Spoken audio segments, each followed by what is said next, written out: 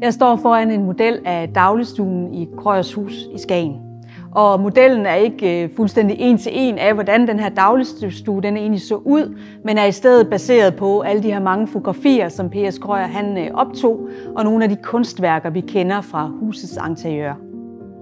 På det her tidspunkt, der var Marie Krøyer stort set holdt op med at male, og i stedet for så kastede hun sig faktisk over indretning og design. Og noget af det, der er kendetegnende for hendes øh, design, blandt andet de her møbler, hun har lavet til dagligstuen, det er, at hun var meget inspireret af den engelske arts and crafts bevægelse. Og det kan vi blandt andet se i de her lidt lette trammemøbler. Hun har bevæget sig væk fra det her med klunketiden og de her tunge møbler, man ellers ser meget i tiden. Øh, og man kan også se det, fordi hun bruger masser af blomster og planter på møblerne, som hun så bemaler dem med. Og det var meget inspireret netop af den engelske arts and crafts bevægelse, der var ret vilde med blomster og deres dekorative kvaliteter.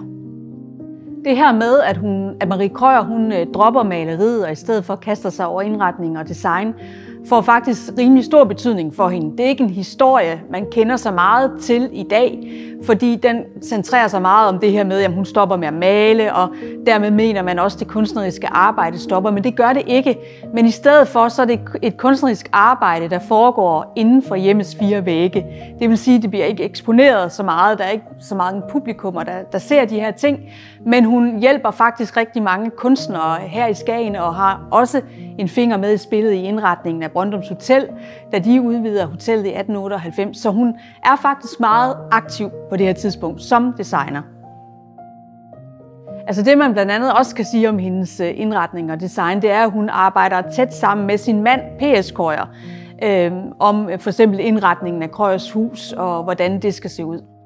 Blandt andet så laver de også øh, flere fotoalbum sammen, hvor hun eksempelvis øh, designer, øh, hvordan omslaget af det her fotoalbum øh, laver pyrografi, altså en slags brandmaleri, hvor hun så maler nogle farverige blomster udenpå, mens det så inde i det her fotoalbum er hendes mands krøjers, altså hans fotografi, man kan se.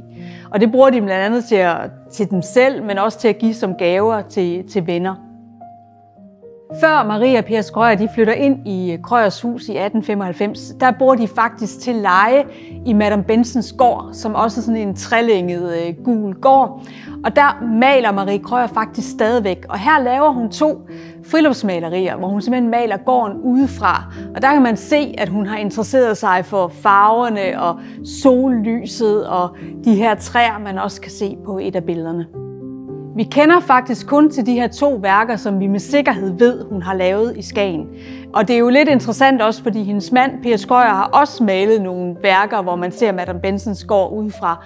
Men i modsætning til ham, der maler hun tit den her gård i det her strålende solskin. Jeg synes, øh, at hjemmet er hendes hovedværker, fordi det netop er her, vi ser, hvordan hun laver den her kombination af farver, materialer og formgiver. Altså hun tænker dem som et hele, altså en slags gesamtkunstværk, som man siger på tysk, eller et helhedskunstværk, hvor du kan sige, at det er ikke kun møblerne, det er ikke kun farverne, men det er ligesom det hele, der spiller sammen. Her har I fået en lille forsmag på Marie Krøyers kunst og indretning, men kom ind på udstillingen og oplev meget mere.